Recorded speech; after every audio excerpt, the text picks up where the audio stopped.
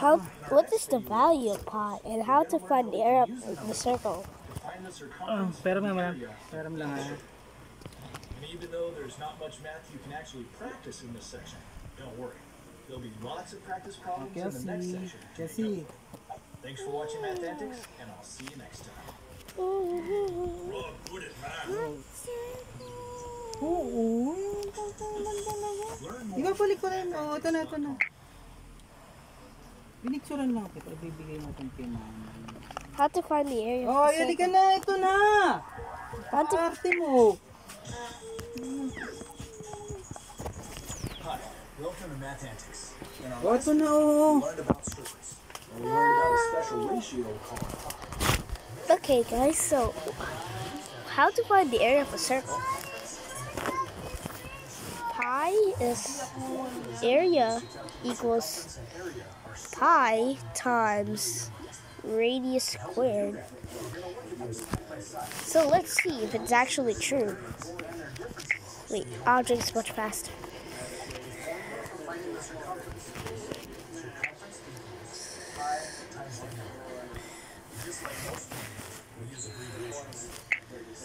So let's see. If this circle has has a radius of two meters, what's its area? So so three point one four times four.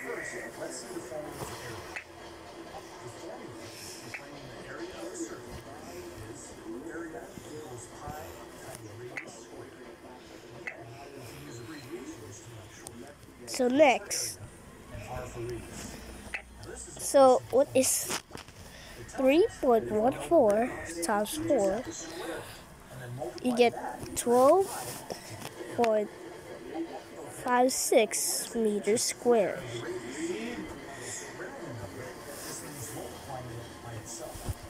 For example, 3 squared just means 3 times 3. And 5 squared just means 5 times 5. And r squared just means r times r. So our formula is really just area equals pi times r times r. We write it in the r squared form because it's more compact. One really important thing to keep is that r squared is not the same thing as 2 times r. It's area of a circle.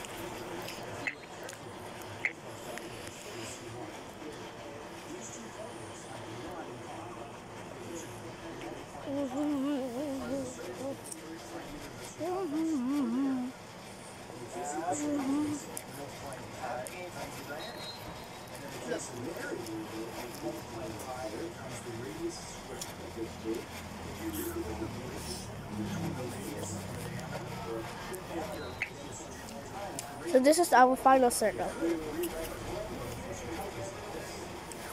If the radius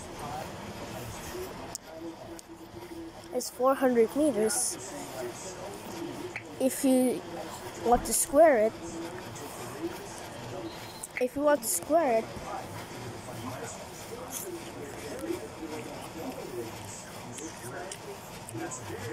so three point.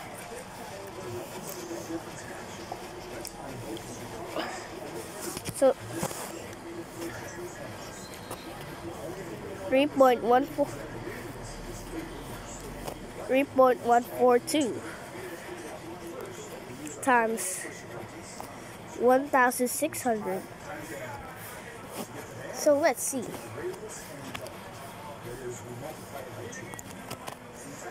Three point one four two times sixteen hundred.